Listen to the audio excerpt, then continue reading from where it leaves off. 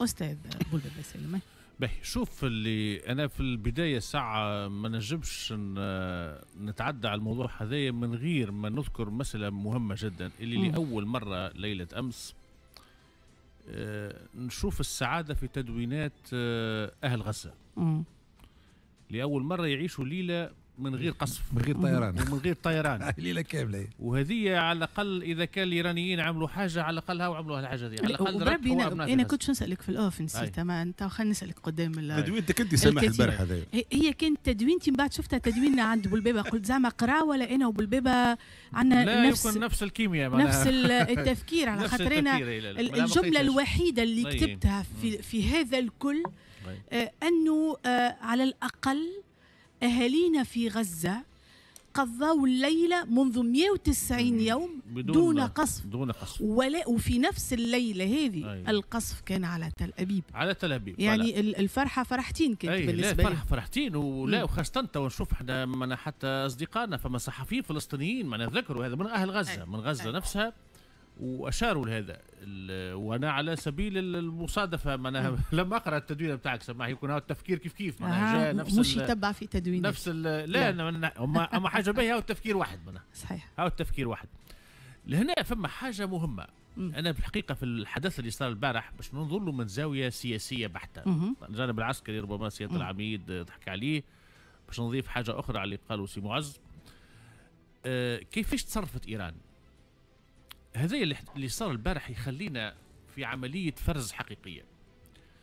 شنو الفرز الحقيقي؟ بين محور المقاومة محور المقاومة اللي فيه إيران وحلفائها في المنطقة المعادين للكيان الصهيوني والتواجد الأمريكي وبين الصهاينة والأمريكان والأنظمة العربية العميلة. هذه هي المعادلة الحقيقية. الحاجة الأخرى زي كيف كيف نحيي شجاعة الإيرانيين. صراحة أه لما صعد الرئيس إبراهيم رئيسي إلى سدة الحكم في إيران من هو إبراهيم رئيسي؟ رئيس إيران. م. قبل كانوا يقولوا ديما كل رئيس يطلع إيران يقولوا تصعده الدولة العميقة والدوائر القرار الفاعلة في إيران. م. لما انتخب آه، إبراهيم رئيسي رئيسا لإيران قالوا أن الدولة العميقة ظهرت للواجهة. لأن هذا هو الدولة العميقة الحقيقية ابن الدولة العميقة. ابن المطبخ القرار الحقيقي في إيران من إبراهيم رئيسي وهو رجل يعني من التيار الراديكالي في إيران. يعني من خط الخميني. مش من خط المهادن ربما أو الذي مثل ربما ما كان مع رفسنجاني أو غيره.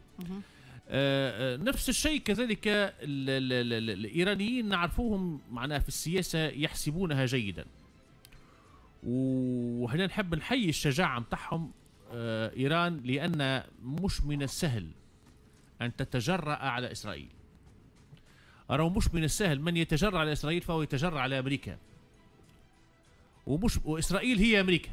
إسرائيل هي أمريكا. وشكون يتجرأ على أمريكا؟ إحنا شفنا لو كان نطالعوا شوية ونشوفوا وفما تصريحات حتى سابقة لحسني مبارك قال راه لا أحد يستطيع أن يتجرأ لا على أمريكا ولا على إسرائيل من العرب. وهذه فعلا شفناها. نحن يتسابقون لنيل رضا أمريكا وإسرائيل. بعض الأنظمة العربية يتسابقون لنيل رضا أمريكا وإسرائيل. آه اللي شفناه البارح أن إيران تصرفت كقوة إقليمية فاعلة في المنطقة. وتصرفت بطريقة كذلك سياسية محنكة. إيش معناها؟ معناها لم تتصرف بتهور ولكن كذلك دافعت عن نفسها في إطار القانون الدولي.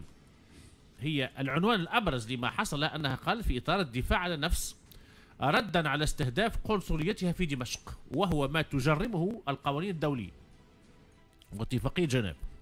إذا فبالتالي تصرفت على هذا الأساس وردها كان محسوب. ضربت القاعدة قاعدة رامون في النقب التي انطلقت منها الطائرات التي قصفت القنصلية الإيرانية في دمشق. إذا كان ردها محسوب بدقة. وهذاك علاش إحنا لما نشوفوا الإيرانيين اليوم يستقبلوا سفراء آه، فرنسا وبريطانيا وألمانيا باش يشرحوا لهم لماذا قامت إيران بهذا العمل.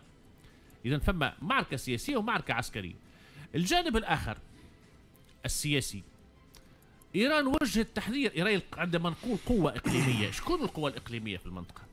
القوى الإقليمية في المنطقة فما إيران فما تركيا فما إسرائيل للأسف وفما مصر لكن مصر دورها للأسف لم تعد مصر التي نعرفها.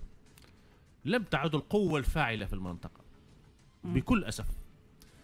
وإحنا لما نشوفوا الآن الفاعلين هناك إسرائيل تقرأ ألف حساب لإيران كما تقرأ حساب لتركيا أيضا.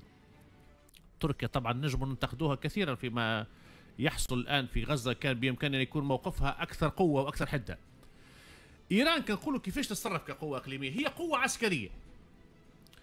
الطائرات هذه معناها الطائرات شاهد المسيرات شاهد التي قصفت بها ليلة أمس آه، إسرائيل أو التي شاركت في الهجوم على إسرائيل صدرت منها أعداد كبيرة إلى روسيا واستخدمتها. التكلفه بتاع كتشوف أنت وكالة بلومبرج مثلا التكلفه بتاع طائرة شاهد هذه تسوى تقريبا 30 ألف دولار.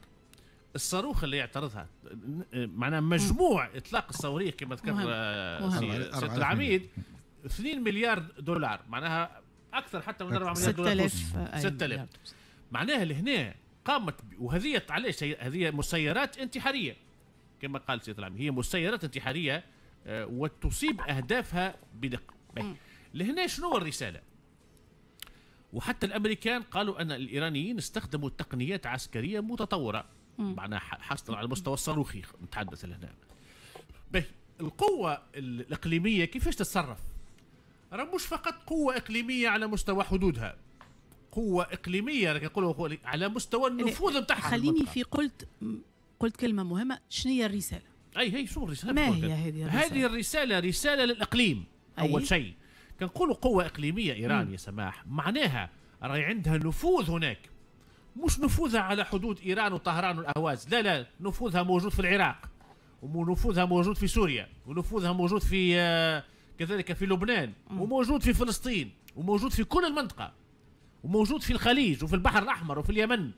هذا إيش معناه تقول قوة إقليمية؟ قوة إقليمية يعني لها دائرة تأثير مجال حيوي كبير وهذه خدمت عليه إيران طويلا. مش من السهل. راي قوى المقاومة في المنطقة؟ تحاصر إسرائيل. تحاصر إسرائيل. بدعم كبير عسكريا من إيران. إيران دفعت ثمنا كبيرا. راكم نشوفوا إحنا الطائرات الإسرائيلية التي تقصف في دمشق وفي حلب. راي تغتال مهندسين وعسكريين إيرانيين الذين يسندون محور المقاومة هناك. كما اغتالت سليماني أمريكا واغتالت المهندس في في في العراق سنة 2020 اذا فبالتالي هي جزء من معركة كبرى. الحاجة الأخرى كيف كيف؟ وانتظريها على الصعيد الإقليمي لاحقا والسياسي في المستقبل القريب أن دول الخليج نفسها الآن ستتغير نظرتها إلى إيران نظرة كبيرة وكبيرة جدا. دول الخليج أتحدث ستتغير نظرتها إلى إيران. وانتظري حتى في الفترة القادمة أن البعض من هذه الدول ستحاول كسب ود إيران. رد بالك راهو العالم لا يحترم إلا القوي. حتى القوى الكبرى نفسها. راهو كثير من الدول تنتهك سيادتها. وتقول سنرد في الوقت أو تلجأ إلى الأمم المتحدة. إيران ما مشاش الأمم المتحدة لتدين دافعت عن نفسها بقوة بقوة النار ضد عدو. وهذه رسالة لكل من يهددها. وليس من السهل التجرع على أمريكا. وأمريكا فهمت الرسالة جيدا. وتعرف من خلال هذا المعطى الذي حصل أمس أن الشرق الأدنى والأقصى بصدد التشكل العالم يتشكل من جديد. العالم اليوم يتشكل من جديد. راهي أمريكا وإسرائيل اللي ينظر لهم بعض العرب وكأنهم أنصاف آلهة. لا أحد يتجرأ عليهم. انتهى ذلك ذلك الزمن وانتهت تلك القصة.